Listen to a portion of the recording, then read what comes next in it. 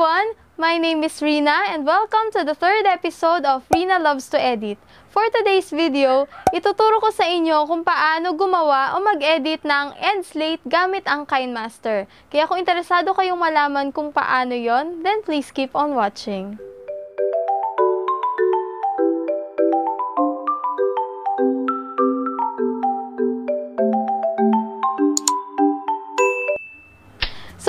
Naisip ko itong tutorial na to kasi nung nakaraang episode o yung second episode ng Rina Loves to Edit, shinare ko doon kung paano gumawa o mag-edit ng intro gamit yung KineMaster. Kaya kung hindi nyo pa napapanood yon, ilalagay ko yung link sa description box and sa i button. So, sa mga hindi po nakakaalam ng end slate, ito po yung kadalasan na nakikita nyo sa bandang dulo ng video ng bawat YouTubers. So, yung iba kasi hindi na naglalagay nito. Pero ako, personally, para sa mga small YouTubers, isa to sa mga sinasuggest ko na gawin kasi once na meron kang end slate, yung mga kasalukuyang nanonood ng videos mo, kagaya nito, yan. Yung pinapanood yung video ngayon, sa bandang dulo niyan, meron yung end slate. So, once na napanood nyo itong video na to, posible na yung mga viewers ko ngayon ay magkaroon din ng interest dun sa mga nakaraang videos ko pa na in-upload. Kaya, mahalaga na meron tayong end slate slate. Kaya naman, kung gusto ninyong malaman kung paano gumawa ng end slate gamit ang KineMaster, then please keep on watching. So, syempre, ang first step lagi natin ay bubuksan natin yung KineMaster na app. Po-open lang kayo ng panibagong project and yung 16 is to 9 na ratio project yung pipiliin nyo kasi yun yung size ng uh, YouTube. So, pili lang muna tayo dito ng temporary na background. So, Ayan. Kapag mga end slate kasi guys, or outro, yung iba kasi tinatawag din to na outro eh. So, ang standard talaga niya ay nasa 10 seconds pataas. So, para sa akin, okay na yung 10 seconds. And then, kung gusto ninyong palitan yung kulay nung background, pwede nyo siyang palitan sa pamamagitan ng pag-click dito sa mismong background and then click nyo yung white tapos, pili na kayo ng background color na gusto ninyo. So, for example, dito sa outro na gagawin natin, ito yung gusto ko. So, yung peach. Ayan. And then, lalagyan mo lang siya sa taas ng thank you for watching. Pili lang tayo dito ng font style na gusto natin. So, dito ako sa my fonts pumipili. And ito nga, papalitan natin syempre yung kulay ng text para nababasa siya. So, yung pinaka, ituturo ko lang talaga sa inyo, yung pinakamadali at pinakasimple na po pwede ninyong gawin para sa channel ninyo. So, once na meron na kayong ganyan, extend nyo lang siya hanggang dun sa dulo. And then, layer, media, and then, background, tapos color white. So, dito sa rectangle na to, dito ninyo ilalagay yung pinaka-thumbnail ng mga nauna ninyong videos. So, para mas madali, ilalagay ko dito yung end slate na ginagamit ko sa RR26 Adventures kasi dito, tansyado ko na yung pinakasukat niya. So, i-extend ko lang siya hanggang dulo. Tapos, gagayahin ko yung sukat niya. Kasi yung sa RR26 na ginawa ko, saktong-sakto lang siya. So, Ganon lang din dapat yung magiging sukat niya. Tansyahan lang talaga dito madalas eh. Wala siyang yung pinaka-fixed ba na sukat. So, ayan. Ngayon na natansya ko na siya, ibababa ko siya dito. Tapos, gagawa ako ng duplicate niya. So, para gumawa ng duplicate nitong solid color na nakikita nyo, o yung pinaka-rectangle nga, i-click nyo lang yung 3 dots sa taas, and then duplicate. So, ayan, may kita ninyo dito sa baba na dalawa na siya. So, i-move natin yung second copy o yung duplicate dito sa right side. And then, after nyan, layer ulit, tapos overlay, and then, hanap naman tayo dito ngayon ng circle na shape. So, dito ako sa classic stickers pupunta, and then, eto, ito yung pipiliin ko na style. So, kagaya nung ginawa natin dun sa kanina, dun sa rectangle, kukunin ko lang din yung pinakasukat nung bilog dun sa RR26 Adventures na end slate. So, i-resize ko siya and para mas madali kong makita yung color, papalitan ko muna siya ng color black. So, i-all black ko muna siya. Para lang madali nating makita kasi color white naman yung kulay dun sa RR26. So, lakihan pa natin siya ng konti and ayan, pwede na yan. So, trim to the right. And then, ito yung ilalagay natin ngayon sa gitna. Ngayon, po pwede na nating palitan yung kulay niya. So, kahit na anong kulay na gusto ninyo.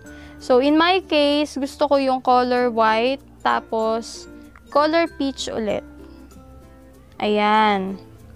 So, ilalagay ko siya dito sa bandang gilid sisiguraduhin ko lang na pantay yung spacing o yung spacing ba tawag doon? O basta yung dito sa gilid. And nakagitna yung circle niya. Ayan. So, after nyan, kung masyado kayong nasisimplehan, pwede nyo pa siyang lagyan ng iba pang text, kagaya ng watch this video. Siyempre, papalitan ulit natin yung text. Ayan, sig Signatra. Itong Signatra ang pinili ko. And then, yung kulay niya ay color black. So, dito ko siya banda ilalagay sa left side muna. And then, since malaki naman yung space sa baba, so, ayan. Ganyan siya. And then, After nito, iduduplicate ko lang ulit para hindi na ako mahirapan sa pagkuha nung sukat niya sa kabila para pantay sila tingnan. Tapos, papalitan ko na lang yung text niya ng this one, two. This one, two. Ayan. And then, after nun, sa gitna, lalagyan naman natin ng subscribe. Dito sa circle na to, dito mailalagay yung pinaka-profile picture ninyo dun sa YouTube, tapos sa rectangle naman yung thumbnail. Kung nasisimplehan pa kayo dito, pwede nyo rin siyang lagyan ng mga social media icons nyo like Facebook, Twitter, Instagram, TikTok, at kung ano pa mang meron kayo. So, pwede nyo yan ilagay dito sa bandang baba. So, in my case, okay na sa akin yung ganito for our tutorial. Ayan. And then, lalagyan na natin siya ngayon ng animations para naman hindi siya sobrang simple lang tingnan. So, unahin ko itong thank you for watching. So, ikiklik ko siya and then yung animation na gusto ko ay ito. And then, after nun, gusto ko saka pa lang papasok yung rectangle. So, ayan.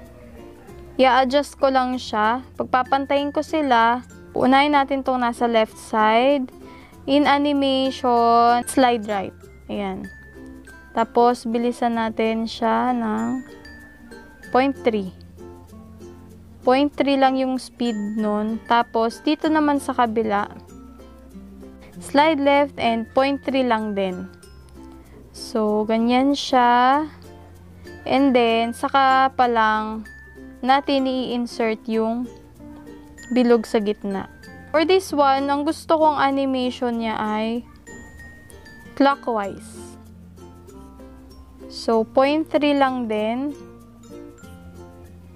So, ito na siya. And then, isasabay ko na lang guys yung pagpasok nitong rectangle dun sa watch this video tsaka sa this one too. So, i-adjust natin silang dalawa.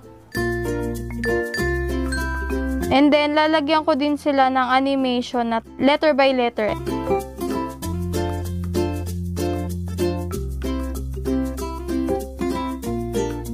Okay, so i-play natin siya. Ayan. So, pag-ikot nung sa subscribe, saka pa lang dapat lalabas yung subscribe. So, pagdating dito sa animation, guys, ha, it's up to you kung anong mga animations yung gusto ninyo. So, ayan.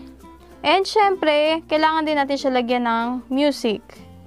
So, hanap lang tayo ng music na po pwede dito. Fluffing a Duck na lang yung pinili ko na background music for this. So, tingnan nga natin kung bagay.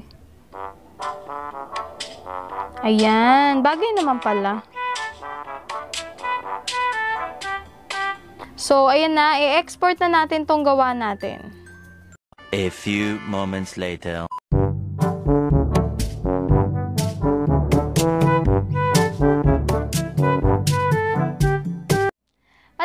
Nagtatapos ang tutorial natin sa araw na to. Sana kahit papano ay nakatulong ulit itong video na ito sa inyo. At kung oo, please don't forget to like, share, and subscribe. Shoutout din pala kay Shane na sinunod yung tutorial ko at kumuha din siya ng sarili niyang intro nung nakaraan. Maraming salamat sa iyo, Shane. At shoutout din kay Gandang Filipina sa Espanya na nag-comment sa aking video. Ganon na rin kay Lola Sally G. So, sana guys, makapag-subscribe din kayo sa mga channels nila. At ikaw, kung gusto mo rin magpa-shoutout, mag-comment ka lang sa video na ito ng natutunan mo at kung meron ka mang mga video suggestions. So, that's it guys. Thank you so much for watching and I hope to see you again in the next episode of Rina Loves to Edit. Bye!